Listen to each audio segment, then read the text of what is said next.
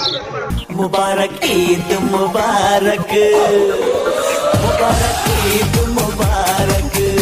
तो दोस्तों अब हम जा रहे हैं नमाज़ पढ़ने ईदगाह की ईदगाह में। मजमा ही मजमा है माशाल्लाह। अरे माशाल्लाह। बहुत तेज धूप हो रही है। लेकिन कहा नमाज़ पढ़ी ली ईद की अपन ने। लो भाई दो दो समोसे दो कचौरी दो समोसे। बादाम पिस्ता डल रहे हैं।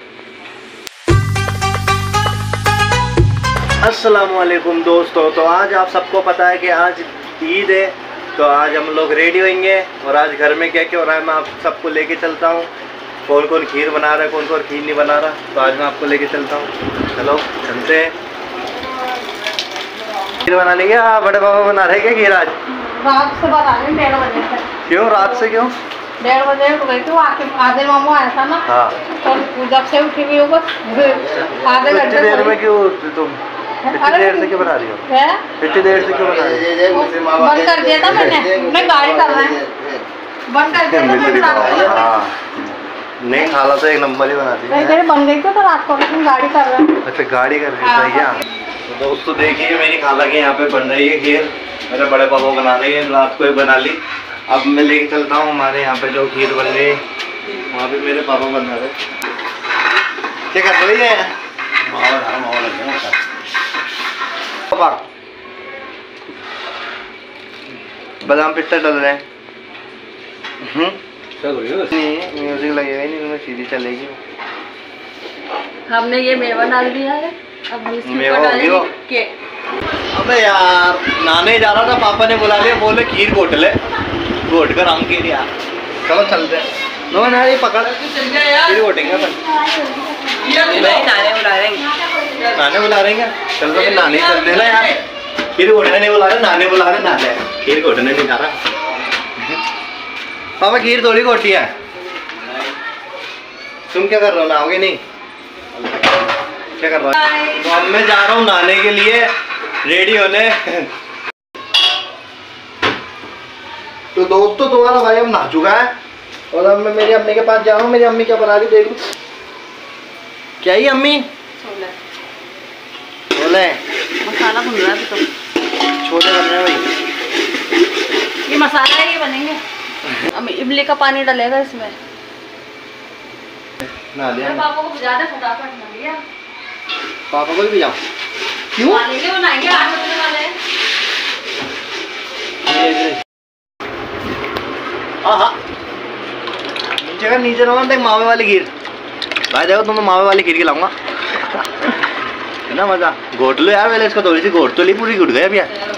अब ऐसा ही है, मावे वाली तो ऐसी ही बनती यार, क्या करे यार? चलो ढक दो नमाज़। चलो आप कपड़े वपड़े पहनते नमाज़ के लिए लेट हो रहा है ईदगाह जाना है भाई।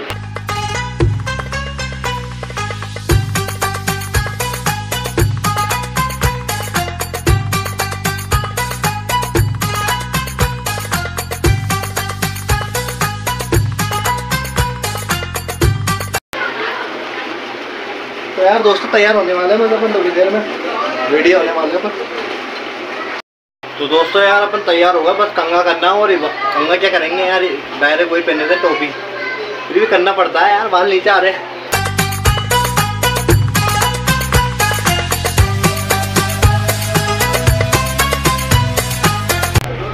देखो बीच में हम लोग जा रहे थे ईदगाह में नमाज़ पढ़ने तो मोनू भाई ने हमारे को काम दे दिया कि यार मेरा इमामा बाँध दो अब इसका इमामा बांधना पड़ेगा लेकिन माशाल्लाह एक नंबर लग रहा था मोनू। देख सकते हो आप इसको भी देखो। एक नंबर लग रहा है छोरा। तो दोस्तों अब अपन पूरा तैयार हो चुके हैं अच्छे से। अब अपन जा रहे हैं ईद की नमाज़ पढ़ने ईदगाह के लिए। अब अपन वहीं पर ही मिलते हैं। हालाँकि रास्ते में थोड़ी बहुत वीडियो बनेगी आपको दिखाऊँगा। मजलिस कितनी हो माशाल्लाह। जयपुर की ईदगाह में ईद की नमाज़ जो होती है ना मज़ा आ जाता है, आपको मैं दिखाऊँगा। और अभी चलते हैं अपन जो जयपुर की ईद की, ईदगाह में नमाज़ होती है, वो दिखाने जा रहा हूँ मैं आपको। तो चलो चलते हैं वहीं पर।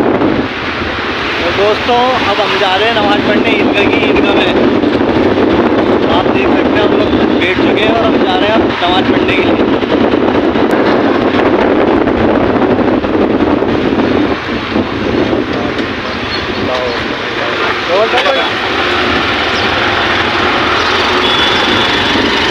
आगे देता हूँ अब उतर गए अपन, अब जा रहे हैं वापस नमाज़ के लिए ईदगाह में अभी तो गंदा गेट पहुँचे।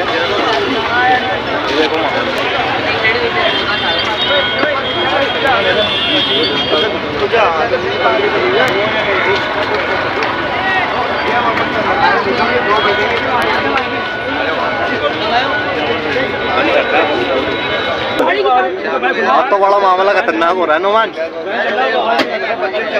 पसीने पसीने हो गए, ऐसी धूप हो रही है। तो दोस्तों, आप देख सकते हैं गलता गेट के यहाँ पे हम लोग बैठ चुके हैं नमाज़ पढ़ने के लिए। बस नमाज़ खड़ी होने ही वाली है। फिर उसके बाद दुआएगी फिर उसके बाद अपन रवानगी ले लेंगे घर के लिए। बहुत ज़्यादा भीड़ हो रही थी, थोड़ा ईदगाह से हम पहले बैठ गए, क्योंकि बहुत ज़्यादा भीड़ थी, माशाल्लाह। आप देख सकते हो भीड़ भी। तो नमाज़ खड़ी हो चुकी है, अब हम नमाज़ पढ़ेंगे, फिर उसके बाद बाद में लोग बनाएँगे। देख लो भीड़ कितनी है अभी के बीच में ज़्यादा मज़ा कर ना कुत्ता ने लाइट कर लीजिए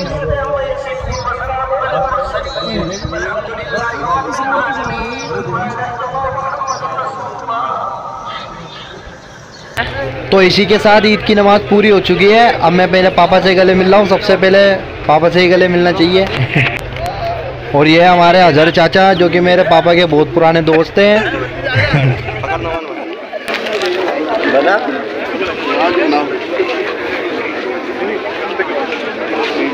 आज आ रहे मेरे तो अब पहचानी है मेरे को।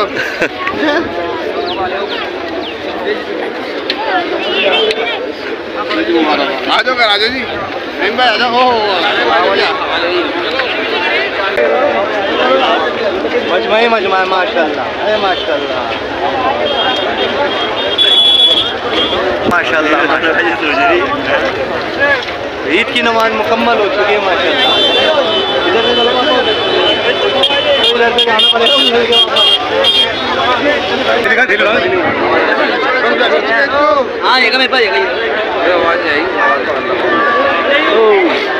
चलो चलो चलो बहुत धूप लेकिन का नमाज़ पढ़ी ली की अपन ने चलो ये भीड़ हटाते पहले चलते हैं यार घर पे पहुँच के बनाते हैं वीडियो फाइनली हमने नमाज़ पढ़ लिया अब हम घर की ओर जा रहे हैं बहुत ज़्यादा भीड़ हो रही थी नमाज़ पढ़ने का मौका ही नहीं मिला था आवाज़ रही फ़ोनों पे माइक पे फ़ोन करके हमने नमाज़ अदा की है। अब घर की ओर जा रहे हैं और खीर खाएँगे अब वहाँ पे मिलते हैं, अपन यहाँ पे बहुत ज़्यादा भीड़ हो रही है।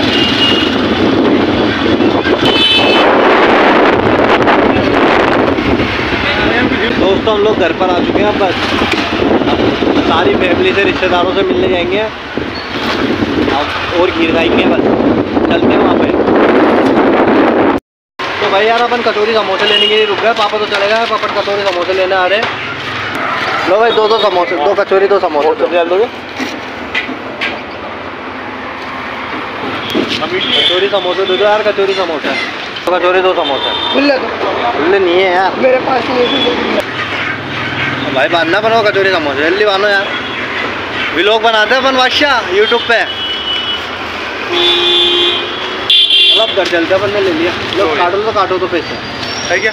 वो तो दो। देख लो तो नहीं तो कोई दिक्कत नहीं है। चलो तो फिर मैं अभी दे जाऊँगा। कितना होगा वैसे हैं अभी? तो दोस्तों आप देख सकते हो अपन ने समोसे कचौरी ले लिए अब अपन घर की ओर जा रहे हैं घर पर आ गए। अब पहले समोसे कचौरी निपटाएँगे फिर घर की खीर निपटाएँगे फिर रिश्तेदारों की खीर निपटाएँगे। और फिर नानी के यहाँ पे जाके भी खीर निपटाएँगे। तब तक के लिए चलते हैं। तो दोस्तों, अब ये व्लॉग यहीं पर ही खत्म हो चुका है। अब नेक्स्ट वीडियो में मिलते हैं आप, जिसके अंदर मैं आपको दिखाऊँगा कि मैं अपने रिश्तेदारों के यहाँ पे घीर निपटाने जा रहा हूँ। समोसा ने मैंने निपटा दिया और फिर मैं अपनी नानी के यहाँ पे घीर निपटाने जाऊँगा। तो इसी के साथ अगर ये आपको व्लॉग पसंद आया तो लाइक सब्सक्राइब शेयर ज़रूर करना। अगली वीडियो में मिलते हैं। अल्लाह हाफिज़।